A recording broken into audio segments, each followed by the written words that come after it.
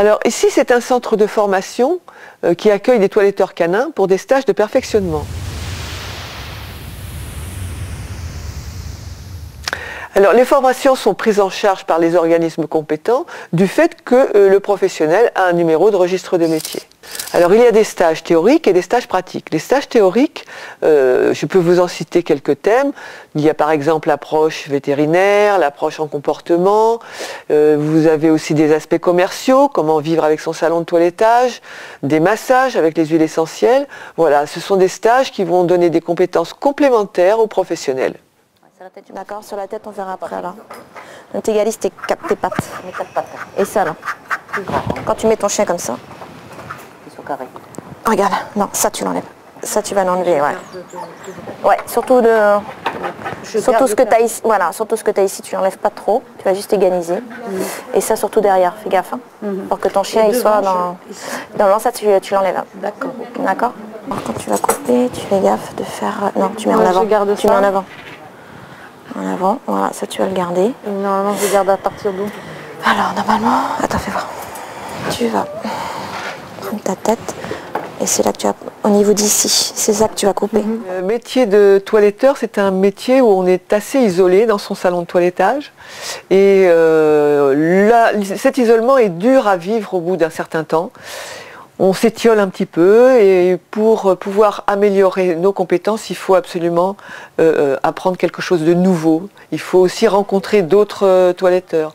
Donc dans ce lieu-là, les toiletteurs se rencontrent de différents départements, se rencontrent de différentes régions de France se rencontrent.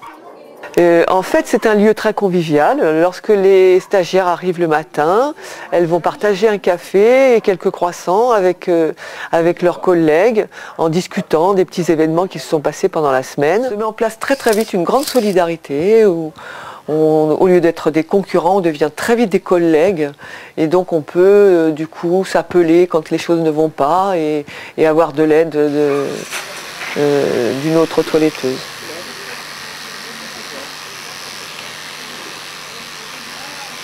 Au cours de ces stages pratiques, le toiletteur va acquérir de nouvelles compétences de toilettage qu'il va pouvoir mettre en œuvre dans son salon. Nous avons la chance d'avoir déjà un centre de formation de toilettage d'une excellente qualité tout près de chez nous. Chaque stagiaire aura à sa disposition un modèle chien pour travailler toute la journée. Ce sont des chiens de particuliers ou d'éleveurs qui nous sont proposés en tant que modèle. Ah, que je... non, ça ouais, ça ouais. Au moins six fois que je viens et c'est vrai qu'à chaque fois que je viens, euh, on apprend toujours de nouvelles choses en fait. Comme il y a pas mal de choses à apprendre sur les, sur les chiens, sur les coupes et tout ça, et comme ça évolue, il y a toujours des nouvelles techniques. Euh, donc c'est vrai qu'il y a toujours quelque chose à apprendre. Après, comme, euh, comme on disait, c'est vrai qu'il y a plein de races et euh, chaque race a, a sa coupe spécifique ou euh, le petit détail euh, qui change par rapport euh, aux autres chiens. Donc c'est vrai que c'est toujours intéressant euh, de voir quoi. Donc je viens au centre de formation euh, d'Alix Reynaud en formation complémentaire depuis maintenant deux ans. Et euh, ce que ça m'a apporté de venir ici, c'est euh, déjà ce que j'aime bien, c'est que pour une même coupe ou pour un même type de chien, on vient trois fois. Et sur ces trois fois, c'est trois formateurs différents qui n'ont pas tous les mêmes techniques. Donc on peut prendre chez chacun les techniques pour faire les, les oreilles de l'un, pour faire les pattes de l'autre, et mixer à sa sauce dans son propre salon. Et il y a aussi un partage entre toiletteuses qui m'a apporté beaucoup, c'est-à-dire quand il y a des doutes, des, des petits doutes aussi bien professionnels euh, que autres, on se rassure, on, on échange. Il y a un partage entre nous qui pour moi, euh, qui été débutante il y a deux ans, m'a beaucoup apporté. Euh, voilà, donc moi je viens depuis un peu plus d'un an et demi euh, à l'Institut de formation 31. Donc euh, déjà pour me perfectionner, puisque c'est un centre de perfectionnement. Et, grâce à ça, bah, je suis championne de France depuis cette année dans le toilettage, toute catégorie. Une. Et voilà, c'est ce qui est bien et c'est vraiment dans la bonne humeur. Les cours sont dispensés par de grands toiletteurs qui sont champions nationaux et internationaux, également juges nationaux et internationaux, ce qui fait que les cours sont vraiment de très haute qualité.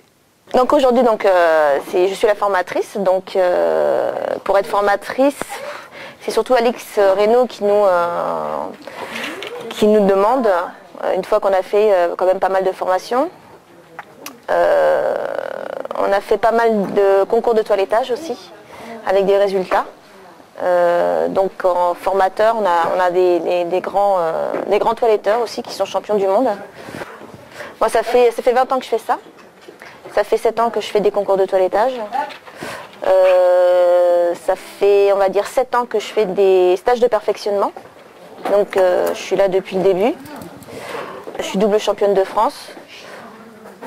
Je suis championne internationale. Et puis, euh, donc mes spécialités sont le spaniel, le bichon et le caniche. C'est vraiment important euh, pour les toiletteurs de venir dans des centres de perfectionnement.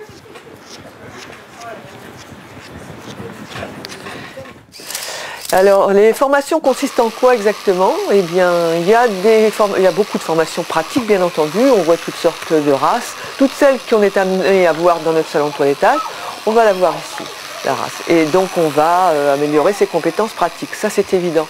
Mais en plus, il y a des formations théoriques qui sont vraiment un plus important pour être un bon professionnel. Euh, je peux vous donner quelques exemples. Par exemple, vous avez une formation euh, sur l'approche vétérinaire. Là, on va avoir des notions sur les problèmes de peau, les problèmes de dents, les yeux, et on va pouvoir dire à sa cliente eh bien, c'est un problème important. Allez chez votre vétérinaire ou ce n'est pas grave, je vais vous expliquer ce que vous pouvez faire. C'est quand même quelque chose de euh, très important d'avoir cette, euh, possibilité pour répondre aux clients de manière professionnelle. On a également euh, des formations de comportement. là, ce sont des toiletteurs qui viennent avoir une petite approche sur toutes les notions de comportement qu'il est bon d'avoir pour euh, mettre en œuvre des, comportements de toiletteurs qui soient en adéquation avec le respect de l'animal. Voilà, un petit chien terminé, un petit fox terminé, fait au cranteur au lieu d'être épilé. C'est mon bébé. C'est mon bébé. Voilà, ça vous ça Vous le trouvez joli? Ça vous plaît? Pour les chiens, on les trouve tout autant jolis. Oui, c'est vrai. Hein? Mais enfin, on peut être plus ou moins exigeant. Il a été sage, non Toujours, il est toujours sage.